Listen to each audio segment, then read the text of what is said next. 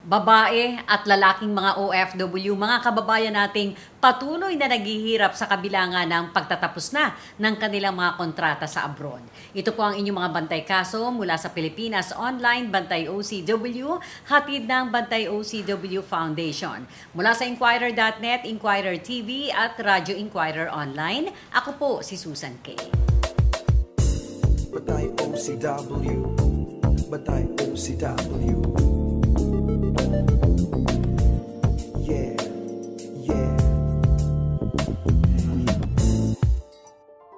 Bakit nga ba patuloy na naghihirap ang ating mga kababayan sa kabila ng pagtatapos ng kanilang mga kontrata at pahirapan maging ang pagpapauwi sa kanila pabalik sa bansa?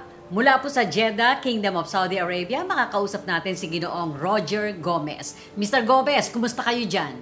Ayos lang po, Madam Susan. Uh, good afternoon po. Medyo mahirap po ang kalagayan at sitwasyon ko po. Salamat po sa mensahe ninyo sa amin kaya natawagan namin kayo kaagad. Ngayon po, nasaan kayo? Uh, malapit po sa airport, Arabwa, Macarona Road, Jeddah, Saudi Arabia po. Nandiyan pa po kayo sa lugar ng inyong pinagtatrabahuhan ngayon? Sa kumpanya pa yan? Yes po. Bali, nandito po ako sa Project Operating Company, Al Salim Johnson Control sa akomodasyon nila mismo po, Madam. Kailan pa po kayo naririyan sa kumpanyang yan, Sir Roger? Bali, nag-start po yung kontrata ko galing sa Pilipinas po. Uh, nagtatrabaho ako uh, under Staff House Interna- International Resources, yung agency ko po sa Pilipinas. Tapos agency ko po dito sa Saudi Arabia, sa Ed Instigdam. And then yung project operating company ko po is Al Salim Johnson Control. Bali natapos ko na po yung kontrata ko, madam. Nag-start po ng November 29, 2018 until November 29, 2020 at tinapos ko na po yung entry visa, 3 months. Bali, nag-stop work po ako nung April 29, 2021 po. At uh, inaproba naman ng Al Salim Johnson Control uh, Project Operating Company ko. Tapos, until noon, ma- madam, hindi po nila pinaprocess ng agency ko po yung International for Istig Dam. Hindi po nila pinaprocess yung exit ko po. One year na po ako rito nag-standby po. Simula nung nag-stop stop work po ako nung April 29, 2021 po. One year na kayo naka-standby, walang trabaho at nandyan lang kayo sa, sa yes company po. na yan? Yes po. Uh, bali, uh, dinitin po nila ako rito. Uh, wala naman po silang binigay sa akin ng food assistance. Bali, nangihingi po ako sa kanila. Nahihirapan po ako kasi uh, nangi, kung saan sana lang po ako manghingi ng pagkain. May mga ibang lahi, Pakistan, saka may mga kasamahan po ako, co-work po, Pilipino. Binibigyan nila ako ng pagkain minsan kung meron sila. Bali, kinakain ko na po pati yung, yung mga uh, expired food and bread para lang makasurvive yung sarili ko po. Bakit ganoon, uh, Mr. Gomez? eh tapos na yung kontrata ninyo na dapat ay nakauwi na po kayo at sinabi ninyo one year na na nandiyan kayo, walang trabaho pero nandiyan pa rin sa kumpanya yan. Wala po ba kayong pinagsumbungan na kailangan pauwiin ka na? Sabi ninyo ay uh, hindi pinapansin. So hindi kayo nakapagsumbong pa sa ating uh, Philippine Consulate yan sa Jeddah? Bali, dumulog po ako sa, sa pulo dito sa ano sa Jeddah Embassy Dumulog okay. po ako nila May, May 24, 2021. Baka mamaya eh, gawin nila akong hurog ma'am kung sa Arabic, kung sa, sa atin Pilipinas is awol. Kaya mm-hmm. nagsumbong, nagsumbong po ako sa, sa Pulo Embassy dito sa Jeddah. Kasi ang, ang purpose ko lang naman po is makuha ko yung uh, salary ko, yung overtime. Sa kinaltasan nila, kinaltasan nila ako ng 900 real without any reasons, without any absences. Yun hanggang sa umabot po kami sa ano, Jeddah Chamber Court na nagsumbong ako na para makuha yon hanggang nung time na yon madam is uh, nagdesisyon po yung ano October 6 2021 yung Jeddah Chamber Court eh, hindi ko po inaccept yon kasi po yung pira na binigay po nila sa akin is hindi po kasali yung yung return ticket go back to Philippines at saka exit visa bali hindi mm-hmm. ko po mm-hmm. inaccept kasi ang sumbong ko po sa ano sa MOI MOL is binago po doon sa chamber yung desisyon po mismo sa Jeddah Chamber Court kaya hindi ko po inaccept yon hanggang sa naghintay po ako na i-process sa ED mismo lagi po nila akong pinapaasa ng labor care whose name Eileen Manalili po, yung babae, yung labor care ko po mm-hmm. sa, sa aid agency na igagawin daw nila, ipaprocess nila. Pinapaasa lang nila ako ng pinapahintay-hintay. Nagsumbong po ako sa Pilipinas, madam, actually, sa PCC the same month and year, May 2021 to October ah, 2021, nagsumbong po ako doon sa kanila. Pa, pabalik-balik po ako ng follow-up PCC, POEA, Pilipinas, at saka yung sa UWA, lagi po nila ako pinapaasa na ipaprocess daw, ipaprocess. Hanggang ngayon po, in- wala naman pong aksyon, madam. Nagsumbong po ako sa POA Cebu nung May something ah, 2021 year, uh, whose name uh, Jirisa sa Cebu po, sa UWA. Hanggang wala daw siyang maitulong po sa akin. So ang dami-dami nyo na po palang napagsumbungan hanggang dito sa Pilipinas.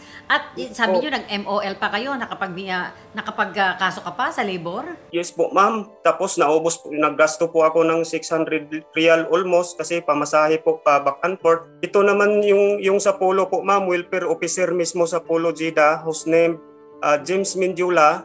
Tinabihan Oh. niya po ako na wala daw siyang maitulong sa akin. Hindi daw magbibigay ng pamasahe yung, yung gobyerno sa Pilipinas about nun sa mga repatriation. Actually, ma'am, nagsumbong ako sa Polo Polo Jida for repatriation October 10, 2021. Sinabihan nila ako doon ni ano ni James Mindula welfare officer na i-line up kita. Nung nalaman po niya na wala po ang visa, sabi niya hindi kita maisit for repatriation kasi wala wala po kayong ano visa. Nagka-visa po ako December 27, ah, validity po 'yon, 3 months until February 25, 2022 bumalik po ako sa kanila para ipaalam na mayroon na, na, na-releasean po ako ng sa agency sa ED ng visa. Month of January 2022 yung time na yun ma'am sinabihan niya ako na kahit may visa ka ah, hindi ka pa rin masit for repatriation kasi ang gobyerno natin hindi magbibigay ng pamasahe repatriation at saka not unless kung magbigay yung agency sa ED mo ng pamasahe, saka ka makauwi. Sabi niya sa akin, simula noon madam, hindi na po ako bum- doon sa kanya nakipag-usap. Pero ang sabi niya, nung una, ku- kung may visa ka lang, makakasama ka dun sa repatriation, hindi ba? Tapos Yes nung nagka-visa ka na, sasabihin niya, hindi ka naman pala pwede na Yes ah, gastusan. Kasi may, may agency naman na nagpaalis sa'yo dito sa Pilipinas, hindi ba? Yes po, A- ano po yung agency nyo sa Pilipinas? Staff House International Resources po madam. Anong year kayo umalis ng Pilipinas? Ah, November 29, 2018 po. Dapat November ah, 2020, nakabalik ka na. Nakauwi ka na ng Pilipinas.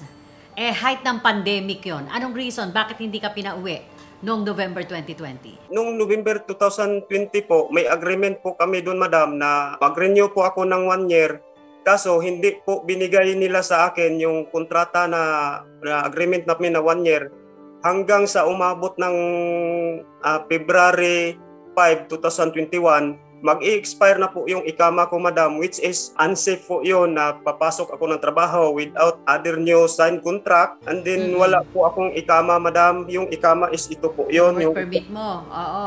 Kama ID, kung Okay. magtatawagin sa atin is national ID po. It's not allowed to go any elsewhere in public area without ikama, ah, residential ID po. Kumbaga, So yan ang reason kung bakit hindi ka pwedeng umalis dyan sa kinaroroonan mo. Dahil wala expired na nga yan, yung ikama mo. yes po, yun po yung yun po yung naka-decide ako nung time na yon na hindi nila binigay yung yung new contract con agreement namin one year tapos expired yung ikama ko kaya nakapag-desisyon ako na mag-exit na lang po kasi natapos ko naman din pati yung ano yung 3 months na entry visa after nung November 29, 2020 tinapos ko pa din yung entry visa nila na pagpalipad sa akin hanggang dito sa Saudi. After nun, nag-decide po ako madam na mag-exit na lang kasi yung agreement namin na kontrata, hindi po nila binigay sa akin yung new contract at saka yung ikama ko is expired. In-extend po to nila May 9, 2022 until April 26, 2022. Bali, extend lang po ng one month hanggang ngayon na-expire na din na hindi pa ako nakauwi. Kasi kumpanya lang ang pwedeng kumuha sa'yo ng exit visa niya, di ba? Yes po ma'am, yung yung sa, sa Ed International for Istigdam po. Pero nung nahawakan mo ulit yung isang buwan na yan na visa mo, hindi ka na nagsabi sa Jeddah, ah, Polo. Hindi ka na bumalik doon kasi sabi mo hindi ka nahihingi ng tulong. Dahil nga Yes po. sinabihan ka na hindi ka rin nila matutulungan. Tama ba? Yes po, madam. Kasi yun na yung sinabihan nila ako na wala daw silang may tutulong. Bakit ganun po yung kalakaran nila? Yun po yung gusto kong malaman na, na instead na kapwa Pilipino matutulungan po nila, Yung iba nga po doon na uh, for repatriation, mga hurob, kumbaga awol, nandun po sa sa yung iba walang passport po, nakauwi naman po. Tapos ako hanggang ngayon is hindi nila na si kaso, kumbaga sinabihan nila na wala daw silang maitutulong sa akin. Pero Roger, alam ng kumpanya na nandiyan ka pa. Nandiyan ka pa sa uh, accommodation niya, ano? Yung uh, lugar ninyo sa camp. Nandiyan Yes ka pa rin. Yes po, Oh, ma'am. wala silang ginagawa? O marami ba kayong katulad mo na ganyan ang kaso? Yes po ma'am, pero sila yung iba is nasa accommodation po ng Said Agency. Hindi po ako bumalik doon kasi hindi naman po pwede na wala naman pong basbas sa kanila na babalik ako sa kanila habang hindi naman po ako binibitawan ng Johnson Control dito sa accommodation nila is dito na lang po ako nagstay kasi yun po yung sabi ng admin mismo na uh, dyan ka lang kasi ma- at least matutulungan ka sa mga kasamahan, kasamahan mo kahit papano kaysa doon ka sa Said, mahihirapan ka doon, sabi po nila sa, sa akin Eh bakit hindi ka na lang nila pinagtatrabaho? hindi pa po nakaprocess. Kaya dumulog po ako sa inyo, ma'am. Baka sakali po, madam, na patutulungan po ako kasi gusto ko na pong umuwi. Kung, kung hindi man ako tatanggapin nila uli sa trabaho ko, wala naman po akong ginagawang masama. Wala po akong against the rules of the government. Balik-balik na po rito. Pang, pang-apat ko na po to na ano, third time, uh, fourth time ko na po to na abroad alam ko po yung rules and regulation na sumusunod po ako sa batas ng Pilipinas na kasi siyempre po kami is dumaan kami ng PIDOS Pre-Departure Orientation Seminar. So pagdating hanggang dito is sa sarili ko lang po, ang pinaglaban ko lang po is karapatan ko bilang workers. Yung kung ano ang bawal is bawal kasi kung ano pong mangyari sa akin sa trabaho, eh pwede po nila akong ihugas kamay na wala namang kontrata, wala namang bakit ka pumasok sa trabaho? So unsafe po 'yun, madam. Sinusunod ko lang po yung ano, yung rules and regulation for safety. Okay. Ngayon, na nag-uusap tayo, ang gusto mo, umuwi, makauwi na. Yes po, madam, kung ma- ma- matutulungan po sana ako. Gusto Taga saan po kayo sa atin? Bisaya po ako, madam, sa Tagbilaran City, Bohol. Bohol. May pamilya po kayo. May isang anak po, 3 years old po. No. Ah, hindi na eh, po ako paano yan? Wala kang trabaho, hindi ka nakakapagpadala. Yes po, hindi na po ako nakasuporta sa kanila kung hindi ko na po alam kung saan sila kukuha ng pagkain. Alam naman ng pamilya ko na kung ano ang pinupunta ko. It's about sa pamilya ko para ay suporta, may bigyan, may big- bigyan ko sila ng suporta, mabigyan ko sila ng kabuhayan, magandang buhay. Hindi ko inakala na ganito ang mangyari sa akin. Ano pong trabaho nyo dyan? skilled worker po, madam. Uh, it's pack technician. Kumbaga sa atin is uh, aircon aircon technician po. Oh, skilled ka pala eh. Ay, alam mo naman kahit umuwi ka ng Pilipinas, may matatrabaho ka rin, hindi ba? Is po, kung may mga tumatawag po sa akin na pinding kasi po hanggang ngayon is nandito pa po ako. Yung mga kasamahan ko po is nakauwi na. Nauna pa po ako sa kanila na ano, mag, mag-stop work, mag-pass ng resignation letter. Kasi yun po yung ano, madami, yun po yung formality.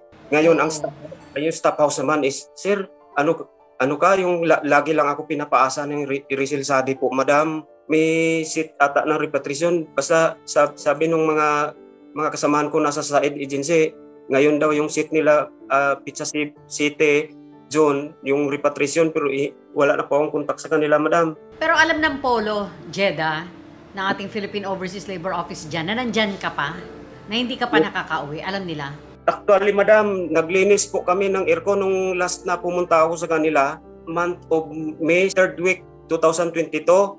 Pumunta po ako doon kay ano kay Sir Ruel Martin, ah, labor attaché. Yeah, Mhm. kung ano pong trabaho mo, ganyan. Sabi ko, sir, para lang, ano, baka matulungan niyo po ako. Gusto na po akong umuwi, ganun. Anong trabaho mo? Sabi ko, is- skill worker po, it's pack technician. Sabi niya, "Li- linisan niyo yung aircon namin dito. Kaya niyo? Sabi, yung kasamahan ko po, Pilipino. Sige sir, basta makauwi lang tong kasama namin. Bahala na kung walang bayad. Kung baga u- offer lang yung ah, voluntary offer lang kami na ano, linisan namin aircon nyo. Lahat at para matulungan. Hanggang ngayon po, nag-zone, wala naman po kasi sabi nila sa akin, hanggang hindi magbigay daw yung side agency, hi- hindi daw wala daw silang may tulong sa akin kasi sila lang side lang daw yung magbibigay ng ah, exit visa po sa akin. Kasi yun yung sponsor mo dyan eh. Hindi ba yun yung kumpanya mo? Pero ah, hindi naman sila namagitan para sa'yo. Kumbaga 29 units aircon, binigyan po kami ng pira para may pamigas ako kanyan. Bali ang isang unit po doon is 68 ata yung bigay, hindi naman kami nag ano nag, nag nanghingi ng pira. Kumbaga ang purpose po Oo. sa mga kasamahan ko na tinulungan nila ako na makauwi. Kaya ni, Mm-mm. tiniis ko yung hirap at saka bigat ng aircon basta makatulong lang kami at matulungan rin nila ako. Pero hindi pa ako nakauwi. Hindi naman po pwedeng mag-follow up ako doon. Mal- malayo po, madam. Magpamasahe po ako ng back and forth ng 30 real. Wala po akong source of income na para mag-follow up, mag-follow up. Sige po, ah, gusto nyo manawagan, napapakinggan ka naman ng ah, ah, mga opisyal ng gobyerno, maging dyan sa Saudi. Go ahead, Roger, nasa iyong pagkakataon. Sa Polo Embassy sa Jeddah, saka dyan sa Pilipinas na POEA, sana naman po ah, magawan nyo ng paraan, magawan nyo ng aksyon para kung sumbong ko po sa inyo, yun na para makauwi na po ako. Kasi mahirap po yung ano, ah, sitwasyon ko dito. Sana naman po matutulungan ako ng POA ng Polo Embassy. Kasi yung, yung pamilya ko po is nag, labis na nag-aalala na po sa akin kung ano na nangyayari sa akin. Hanggang ngayon, di pa po ako nakauwi. Sige po, lakasan nyo lang po ang loob ninyo. Ah, tutulong din po ang inyong Bantay OCW program para po makauwi kayo sa laling, lalong madaling panahon. Salamat po, Madam Susan. At sa staff ng Pilipinas Online na Bantay Overseas Contract Workers, salamat po sa mga lahat sa inyo. Salamat po, Madam. Ah, mag-text-text lang po tayo. Anyway, bukas yung ating communication. Makikipag-balitaan din kami sa inyo. Gagawa din po kami ng aming mga pamamaraan para makauwi kayo. Tutulungan po namin kayo. Salamat po, Madam. Maghihintay po ako. Mag, ah, Opo. bantay ko po yung messenger ko kung ano, sa, sana po matulungan niyo po ako. Sana po hindi kayo nagugutom. Ano, makakain kayo ng gusto dyan. Minsan po, ah, tinapay lang po, tiisin ko lang po, tapos tubig para lang makasurvive. Minsan di ako makakain ng bigas. Lakasan niyo po loob nyo ha, para sa pamilya. Yes Sa inyong po, pagbabalik. Opo. Yes po, madam. Salamat po. Si Roger Gomez, mga kaibigan, taga Bohol, yung ating kabayan. Pero sa kasalukuyan ay nasa Jeddah pa siya sa Saudi Arabia at hindi pa rin makauwi ang ating kabayan dahil wala pa yung kinakailangan dokumento na hindi naman daw ibinibigay nung kanyang kumpanya sa kabila ng mahigit isang taon na siya na walang trabaho pala at naroroon lang sa kumpanyang ito na wala namang hanap buhay kaya wala din siyang maipadala sa kanyang pamilya. Agad po na nakikipag-ugnayan rin ang inyong Bantay OCW Foundation para po sa agara naman na pagpapauwi sa ating kabayang si Roger Gomez.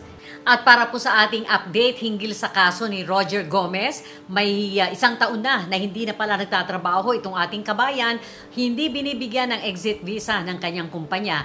Kaagad naman ng kumilos ang Department of Migrant Workers sa pamamagitan ng OWA uh, Repatriation and Assistance Division. Thank you very much. At agad po na ipadala na sa Jeddah ang kasong ito at inaasikaso na ang agara na pagpapauwi sa ating kabayang si Roger Gomez. So alalay na lang kabayan, makakabalik ka na ng Pilipinas. Maraming salamat sa Department of Migrant Workers, Secretary Ople at sa ating OWA Repatriation and Assistance Division.